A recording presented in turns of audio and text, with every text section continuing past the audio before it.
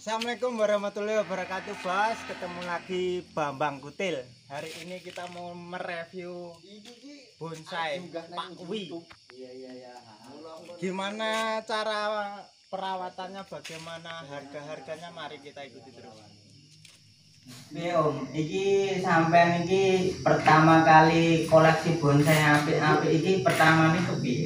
Ya dasarnya pertama aku senang. Hmm. Terus yang kedua eh, ya karena aku sebenarnya kan punya kerja di Jakarta ya kan di Ancol. Hmm. Terus ini apa? Karena di sana kena lockdown.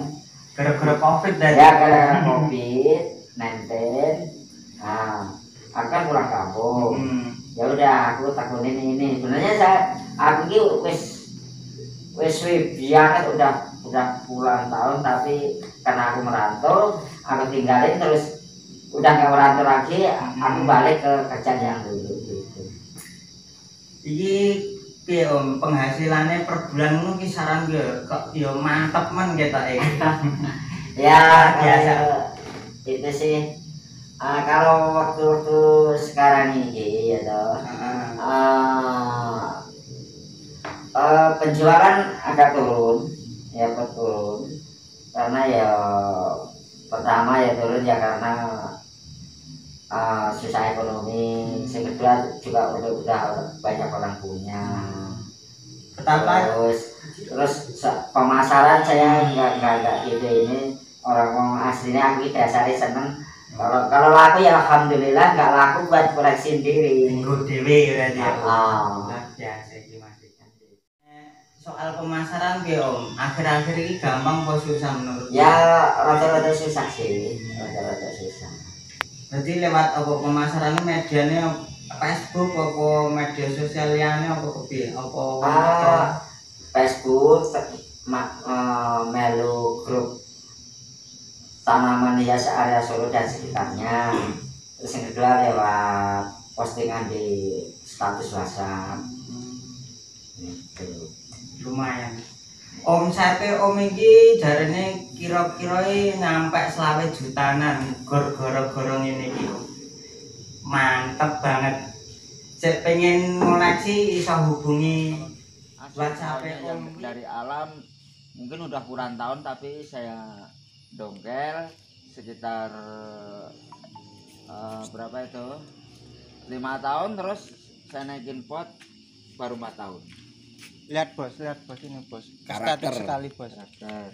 Ini kira-kira harga mencapai berapa? Om Ya. Wi, Om Wi Eh, bener benernya sih buat koleksi tapi kalau kalau ada yang minat ya dilepas. Kita lihat-lihat lagi bos Yang Ya. estetik, yang umur paling tua di sini yang mana Om? umur paling tua rot, Eh, rot, rot. Oh, sini bos ada yang bagus ya, banget bos. ada yang bungkulan Rot. ini ada bungkulan Lihat. yang mana oh yang ini ini kawista batu Luar biasa ini. kawista batu batu karang maksudnya hidup di di di atas batu karang ini eh bulangan dari daerah Blora Us. Blora ini. Kalau daerah sini nggak ada adanya di Blora biasa jauhnya bos Blora. Kisaran berapa Om ini? Regone regone? ya seribu nggak nyampe murah kok. Ya Di kalau bawah di- seribu bos. Di bawah seribu. di bawah seribu di bawah seribu eh delapan Kampung ratus Sancang udah hidup. Udah naik pot bagus karakter. Tuh ada lubangnya. Tiga ini harganya sama. Yang satu mas.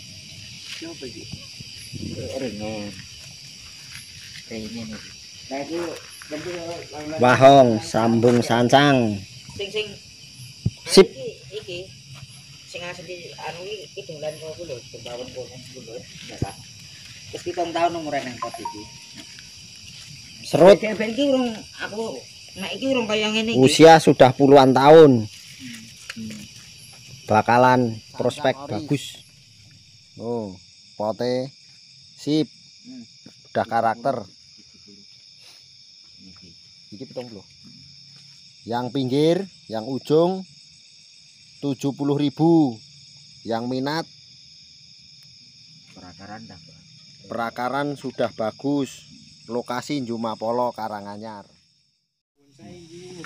luar biasa bos yang ini bos estetik sekali ini bos Ini jenis apa, Bos? serut serut batu karang serut mantep Batu asli tumbuh karang. di batu Ini itu kok daerah ngendi? daerah eh, Pandian Ngawi Buh, dari Ngawi luar biasa. Mbulangnya ado-ado tenan, Om. Jan jos.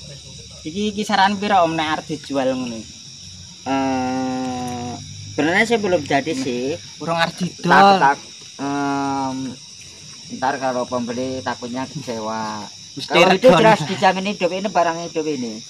Hidup di batu karang. Mesti regone larang ya, Bos iki, Bos. aku aku aku aku belum belum belum berani lepas. Ya aku masih santai enak bean dulu. Ganti dulu coba generasi sampai dirani kayak Sigar Jalak umur lebih dari 20 tahun katanya. Luar biasa ini.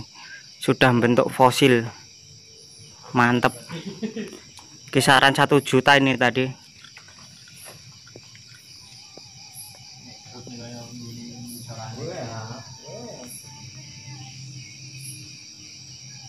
Itu tadi ulasan dari Bambang Kutil mengulas bonsainya Pak Wi berada di daerah Duwetan Jumapolo. Kalau minat bisa hubungi saya ntar dicantumkan di bawah nomor WhatsAppnya. Oke. Wassalamualaikum warahmatullahi wabarakatuh.